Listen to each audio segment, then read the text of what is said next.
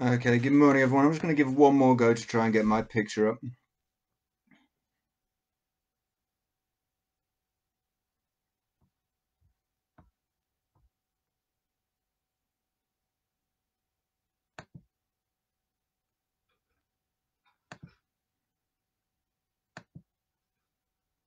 And I can't do it. Can't see me today, but to be honest, you don't actually need to see my face at all today.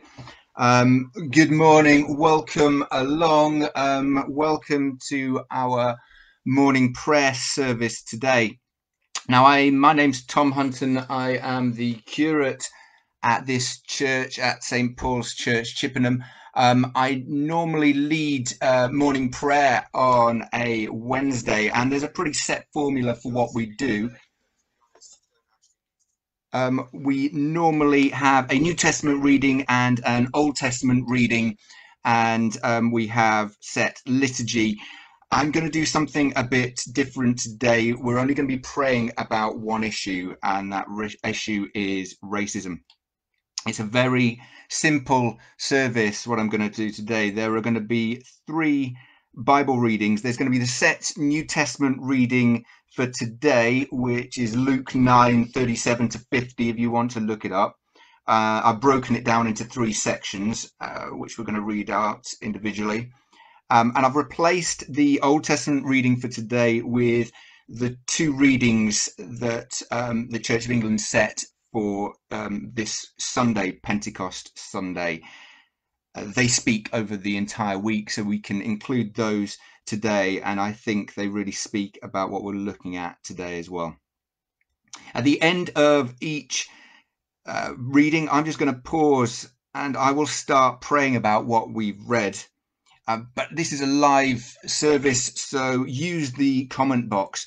Um, if there's anything that you've been inspired that you want to add, that you want to pray, then include it and we will um, if i see it i will pray it as it comes up on the screen. I will lead us together as we pray over those words.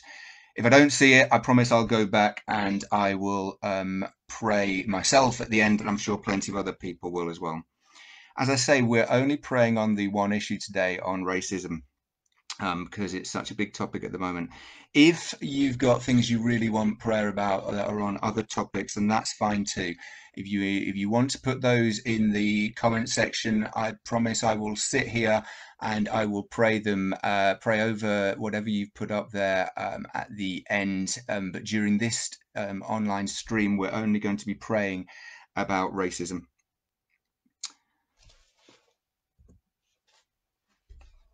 I've included some photos in this service to show you what we're doing, to show you where we're going with what we're going to be praying about.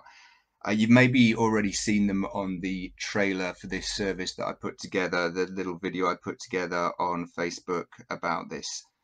Um, on the uh, left hand side of the screen, we've got George Floyd there, the man who was uh, murdered by the um, police officer in Minneapolis which has caused the uh, or sparked the the riots and the protests that we're seeing at the moment.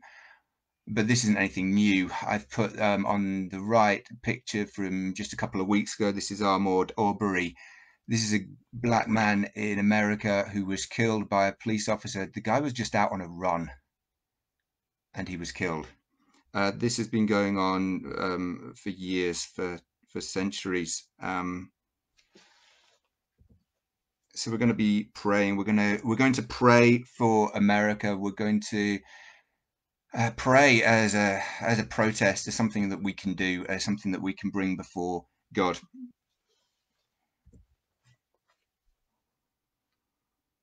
There's real issues throughout um, to look at here. Um, Donald Trump ordered a peaceful protest to be tear gassed so he could pose outside a church holding a Bible the other day. Another crowd in Atlanta was tear gassed last night. As Christians, we should be outraged by this. But I'm also going to lead us as we pray about racism in our country.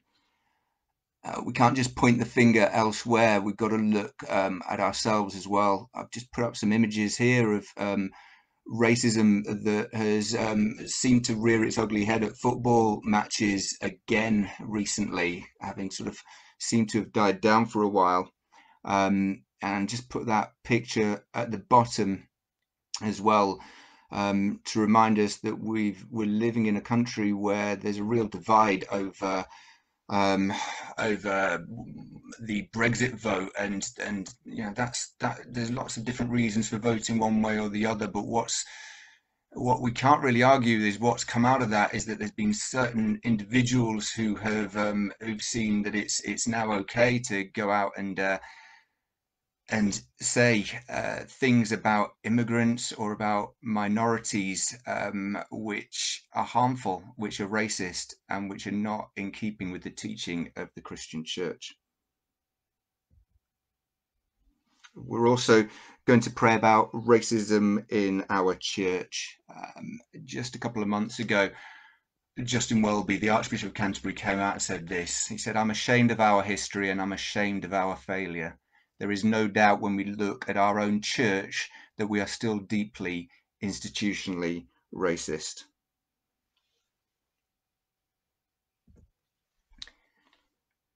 And this stuff lies really heavy on us, so let's bring it to God in prayer. Every day we have an opportunity to start afresh, to be inspired afresh throughout this service. Um, there's not a whole lot of liturgy, but where there is, um, some words are in italic, which I, as the leader of the service, will pray. Um, and um, you respond if you would like to join in with the words in bold. So let's start. The night has passed and the day lies open before us. Let us pray with one heart and mind.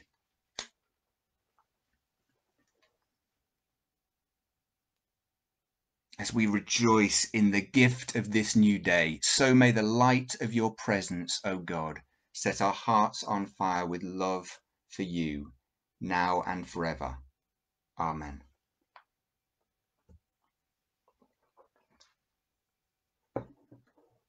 Our first Bible reading is um, from John chapter 20, verses 19 to 23. This was a reading from Pentecost Sunday three days ago. On the evening of that first day of the week, when the disciples were together with the doors locked for fear of the Jewish leaders, Jesus came and stood among them and said, Peace be with you. After he had said this, he showed them his hands and side. The disciples were overjoyed when they saw the Lord. Again, Jesus said, Peace be with you. As the Father has sent me, I am sending you. And with that, he breathed on them and said, Receive the Holy Spirit. If you forgive anyone's sins, their sins are forgiven. If you do not forgive them, they are not forgiven.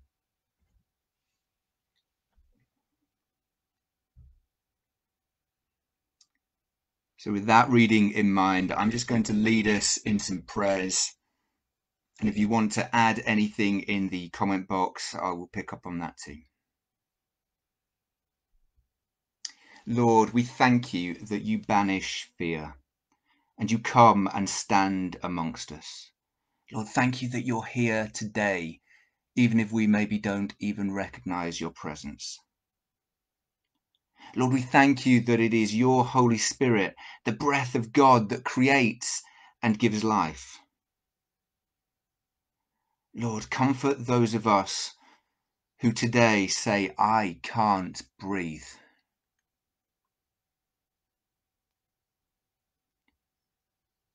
Lord, bring justice to America. Bring breath to America. Bring leadership that is inspired by your Holy Spirit to America.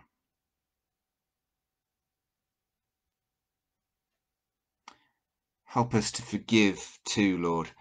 Help us to forgive racists, to forgive those police officers, to forgive Donald Trump, and forgive anyone whose actions anger us. Lord, in your mercy, hear our prayer.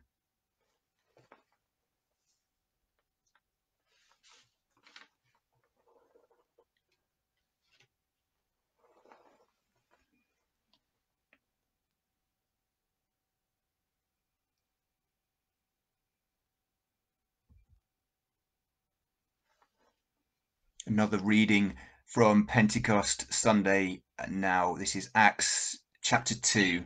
And I've just highlighted verses 1 to 6 and verse 21. When the day of Pentecost came, they were all together in one place. Suddenly, a sound like the blowing of a violent wind came from heaven and filled the whole house where they were sitting. They saw what seemed to be tongues of fire that separated and came to rest on each of them. All of them were filled with the Holy Spirit and began to speak in other tongues as the Spirit enabled them. Now there were staying in Jerusalem God fearing Jews from every nation under heaven. When they heard this sound, a crowd came together in bewilderment because each one heard their own language being spoken and everyone who calls on the name of the Lord will be saved.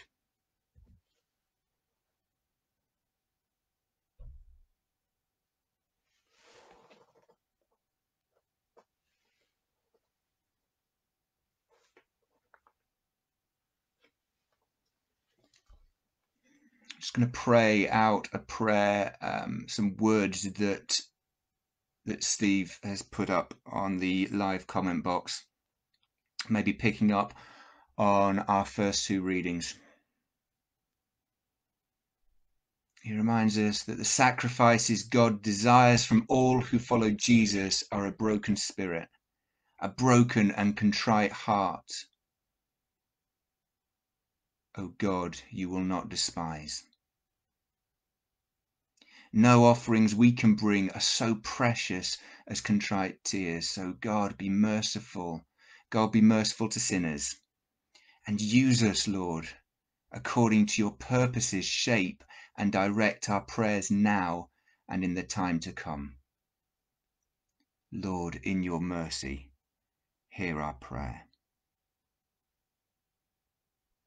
Lord, thank you that just like those disciples gathered in that room, we can be filled with the Holy Spirit and it can move us like breath, like a strong wind, and it can alter our course and turn us around to see things differently.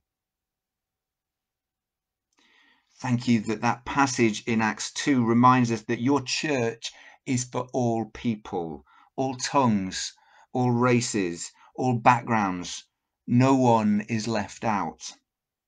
No one is above anyone. Remind us of that, Lord. Remind us that everyone who calls on the name of the Lord will be saved. Lord, in your mercy, hear our prayer.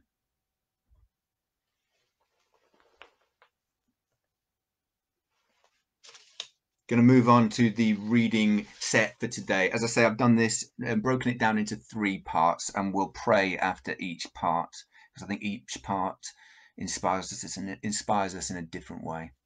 This is Luke 9 37 to 50. On the next day, when they had come down from the mountain, a great crowd met him. Just then, a man from the crowd shouted, Teacher, I beg you to look at my son. He is my only child. Suddenly a spirit seizes him, and all at once he shrieks. It throws him into convulsions until he foams at the mouth. It mauls him and will scarcely leave him. I begged your disciples to cast it out, but they could not. Jesus answered, You faithless and perverse generation, how much longer must I be with you and bear with you? Bring your son here. While he was coming, the demon dashed him to the ground in convulsions. But Jesus rebuked the unclean spirit, healed the boy, and gave him back to his father. And all were astounded at the greatness of God. Now, we can talk about healing and what is happening here another day. All we need to know now is we look at a God who makes all things clean. So would you heal this world, Lord? The unclean spirit of racism has seized us all. We see the symptoms everywhere. Help us to drive out this unclean spirit, Lord.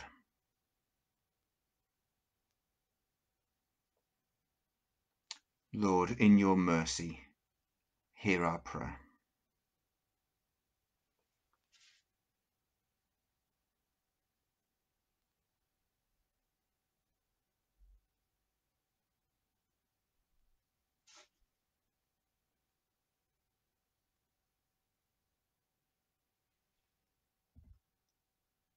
Second part of Luke chapter 9 reading. While everyone was amazed at all that he was doing, he said to his disciples, Let these words sink into your ears. The Son of Man is going to be betrayed into human hands. But they did not understand this saying. Its meaning was concealed from them, so that they could not perceive it. And they were afraid to ask him about this saying.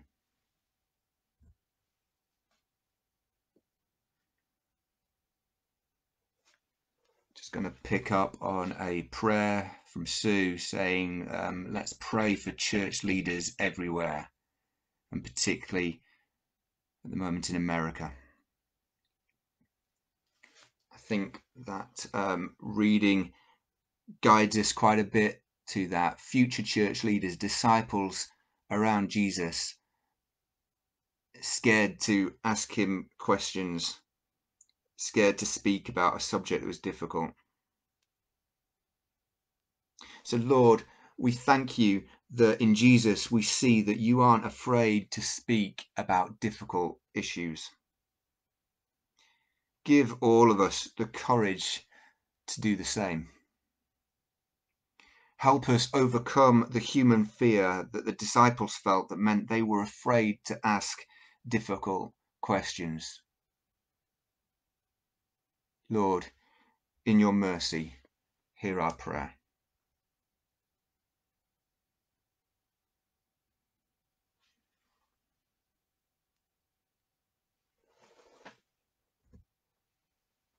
In the third part, the third part of this Luke 9 reading for today.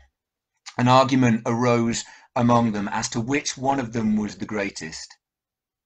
But Jesus, aware of their inner thoughts, took a little child and put it by his side and said to them, Whoever welcomes this child in my name welcomes me.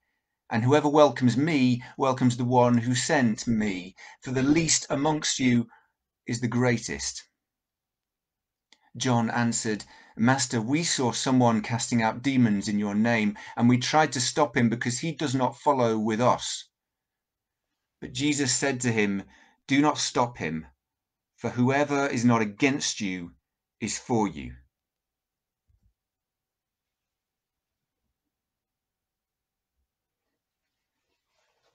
Just want to read out a prayer that Angeli has put in the comment box.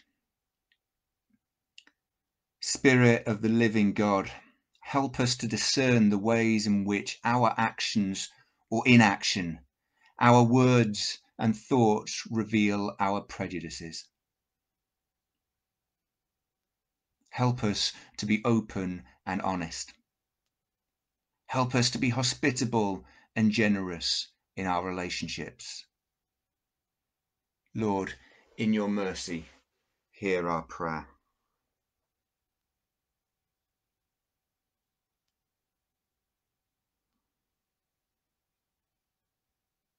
Lord, would you change our perspectives? Would you help us not to look like those disciples were doing, for who is greater and who is lesser. Would you banish inequality, Lord? Lord, heal this tendency to tribalism. We see it in churches. They're not following us. They're not our denominations. They don't look like us. Banish that from our hearts, Lord. You are the Prince of peace. Remind us whoever is not against you is for you. Lord, in your mercy, hear our prayer.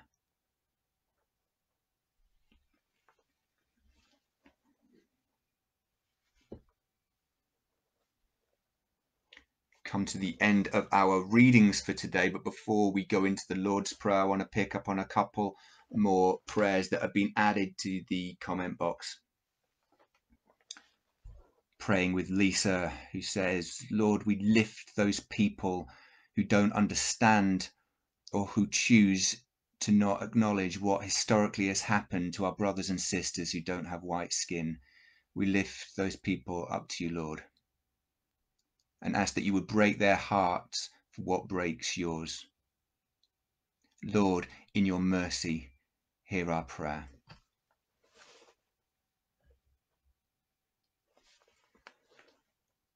Claire prays, Search me, O God, and know my heart. Test me and know my anxious thoughts. See if there's any offensive way in me. Lord, show us if we have any racism in our hearts. Show us how we should be responding to this situation. Lord, in your mercy, hear our prayer.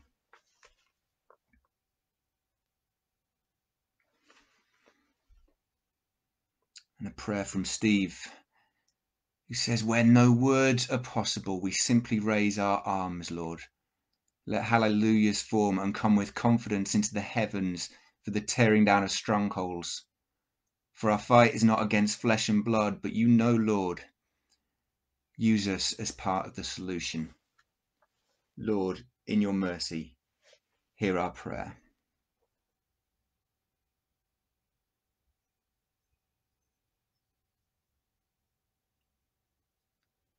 And Simon's just uh, put up the Kyrie, put up um, this prayer. Lord Jesus Christ, have mercy on us, for we are sinners. Lord, have mercy Christ, have mercy. Lord, have mercy. Lord, in your mercy, hear our prayer. I want to lead us in the Lord's Prayer now. The words are in bold. Please do um, join in, say the words at home as you see this on the screen it's a wonderful prayer for this moment because it starts our Father. It's not my Father, it's not your Father. Our God is a God for all people. I'm not made in his image any more than anybody else is. So we say, Our Father. Our Father in heaven, hallowed be your name. Your kingdom come, your will be done, on earth as in heaven. Give us today our daily bread. Forgive us our sins, as we forgive those who sin against us. Lead us not into temptation, but deliver us from evil. For the kingdom, the power, and the glory are yours, now and forever. Amen.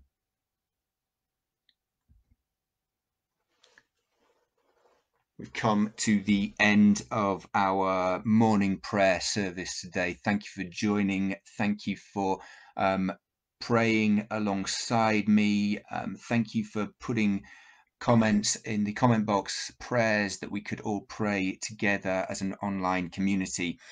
Um, prayer is supposed to inspire us to go out and say and do things differently, to go out and think things differently.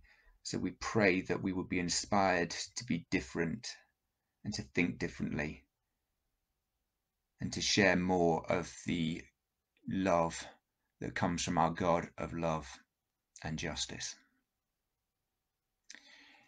I'll conclude um, today's service by saying the Lord bless us and preserve us from all evil and keep us in eternal life. Amen. Let us bless the Lord. Thanks be to God.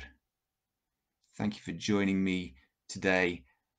I think actually maybe it was a good thing that I couldn't display the video of my face in the corner of the screen for this particular service because actually it's not important that um, I'm visible. We need to think about making everybody visible. Have a good day.